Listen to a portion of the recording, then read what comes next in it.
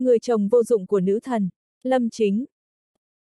Tập 125 Hội trưởng đại hội vốn xuất thân là người trên đảo Thiên Khiếu, vậy nên ông ta chắc chắn hiểu về nơi này hơn Lâm Chính. Vì vậy, nếu vẫn để trận pháp trên đảo, chắc chắn không thể dụ hội trưởng tới đây. Lâm Thần Y có địa điểm nào tốt hơn không? Đảo chủ hỏi anh. Lâm Chính trầm ngâm một lát, khàn giọng nói, chúng ta đã tốn công sức giàn dựng như vậy, nhưng chỉ e dụ được hội trưởng không dễ dàng. Chỉ cần có dù chỉ một sơ hở thì tất cả sẽ công cốc. Hơn nữa đối phương vô cùng cẩn trọng, cho nên nếu chọn một địa điểm bình thường sẽ không có tác dụng. Ồ! Oh, đảo chủ suy nghĩ một lúc rồi nói, vậy phải chọn một mảnh đất nhiều phước lành sao? Phải. Sau đó phải chọn một món thần vật để dụ hắn sao? Không cần rắc rối như vậy, ông ta cũng sẽ không dễ dàng bị lừa. Vậy Lâm Thần Y có cao kiến gì? Rất đơn giản. Lâm Chính dừng lại một lúc rồi nói, chỉ cần trực tiếp đặt trận pháp trên núi Thánh Huyền. Cái gì? Mọi người đều bị sốc. Núi Thánh Huyền là nơi ở của hội trưởng. Bố trí đại trận ở núi Thánh Huyền. Đây chẳng phải đặt bom vào nhà người khác sao? Hội trưởng có phải kẻ ngốc không mà lại để Lâm Chính làm như vậy? Ý tưởng của Lâm Thần Y thật táo bạo, nhưng muốn thực hiện chỉ sợ còn khó hơn lên trời. Đào chủ hạ giọng nói. Tuy nhiên, Lâm Chính lại tỏ ra bình tĩnh, chính vì địa điểm này quá hoang đường nên mới có thể khiến ông ta buông lỏng cảnh giác. Ông ta chắc chắn không thể ngờ chúng ta lại bày trận pháp ở nơi nguy hiểm và nhạy cảm như vậy. Hơn nữa linh lực trên núi Thánh Huyền nồng đặc hơn xa những nơi khác, như vậy trận pháp sẽ phát huy được công hiệu tối đa, cũng dễ dàng che giấu được khí tức của đại trận. Đảo chủ cao mày suy nghĩ hồi lâu rồi nói, Lâm Thần Y, kế hoạch này tuy thông minh nhưng rủi ro quá lớn. Làm sao chúng ta có thể bố trí đại trận ở nơi có nhiều thế lực trông chừng cẩn mật như vậy? Nếu bị phát hiện, tổn thất là không thể tưởng tượng được. Lâm Chính trầm ngâm một lát, nói, cho nên, tôi cần một ngoại lực câu giờ giúp tôi. Đảo chủ hai mắt nheo lại, cậu muốn chúng tôi tấn công núi Thánh Huyền sao?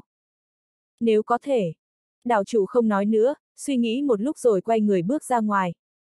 Tiên chính nhất và những người khác cũng lần lượt bước tới, dường như họ đang thảo luận. Trong khi đảo chủ đang thảo luận sôi nổi với tiên chính nhất và những người khác, Lâm Chính bình tĩnh đứng một bên quan sát. Thực ra anh đã có ý tưởng này từ lâu rồi.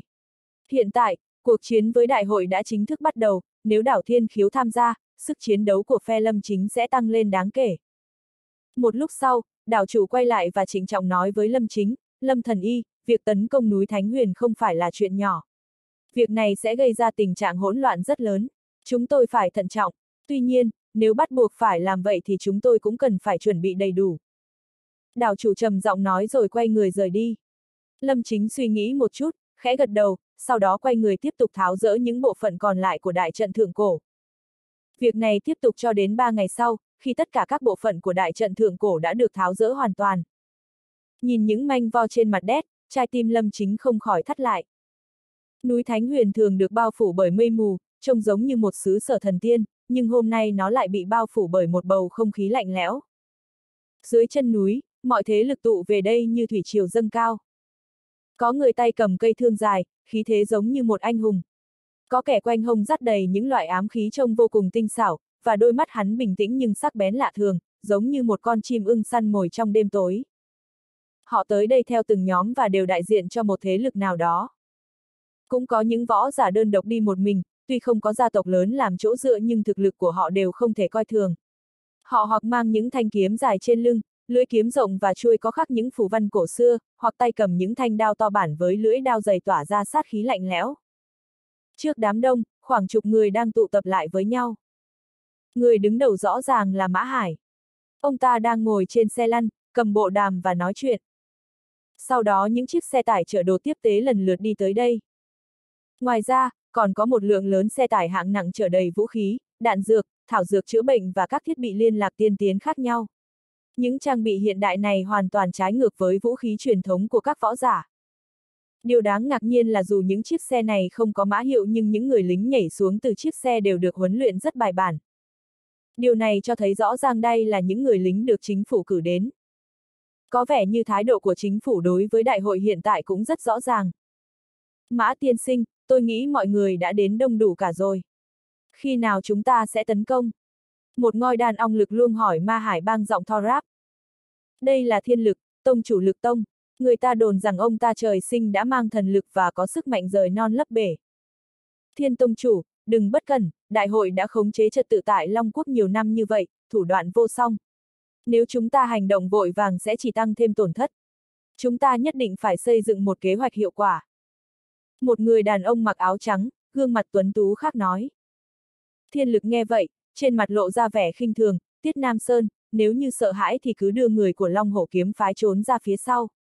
Tôi sẽ dẫn người của Lực Tông lên đầu làm quân tiên phong.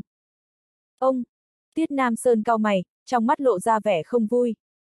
Nhưng Tiết Nam Sơn còn chưa kịp nói thì đã bị Mã Hải ngăn lại. Mọi người không cần tranh cãi đâu. Mã Hải bình tĩnh nói, Dương Hoa kỳ thực đã có chủ trương cho lần tiến công này từ lâu rồi. Mã tiên sinh, là chủ trương gì vậy? Khi nào chủ tịch Lâm sẽ xuất hiện? Mọi người đều nhìn Mã Hải. Tuy nhiên, Mã Hải im lặng một lúc rồi nói, chúng tôi không thể nói cho mọi người biết khi nào chủ tịch Lâm sẽ xuất hiện. Về chủ trương của chúng tôi, chỉ có một từ, thủ. Thu. Mọi người đều ngạc nhiên. Đúng vậy. Mã Hải gật đầu, mặt không biểu cảm nói, chúng ta tập trung ở đây, sẽ không chủ động tấn công, hiện tại chỉ cần phòng thủ là được. Việc này, không ai có thể hiểu được chuyện này. Tất cả lực lượng đáp lại lời kêu gọi của Dương Hoa và tập trung dưới chân núi Thánh Huyền, chuẩn bị tấn công đại hội. Bây giờ các anh hùng đã tập hợp lại, chỉ chờ lệnh. Mã Hải lại nói muốn phòng thủ. Đừng trì hoãn nữa. Tấn công. Mọi người đều la hét, tinh thần chiến đấu đã dâng cao. Mã Hải rơi vào trầm tư. Audio điện tử võ tấn bền. Hết tập 125